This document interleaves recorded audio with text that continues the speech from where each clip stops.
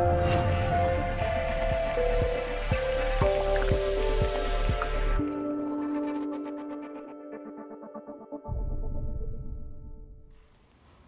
guys, it's Sarah here with Off Leash K9 Training. I'm with Onyx. He is a one and a half year old Pomsky.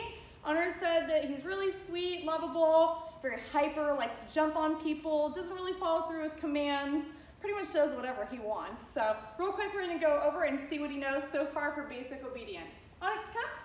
Hi, come Onyx. Onyx, come. So not really good with recall. He runs right past you. Onyx, come. Hi. Come here. Come here. Hi. Can you sit? Can you sit? Can you down? Can you down? Onyx, come. Come here. Onyx, come. Good. Oh, what is that? So you like to jump on stuff? That's good. Can you sit? Can you sit? Sit. Oh, very nice. That's a good sit. Come. Good boys. Can you help? Can you help? Alex, help. Help. Help. All right, so that's where we're at pretty much for our basic obedience. I look forward to showing you his progress in two short weeks. Stay tuned.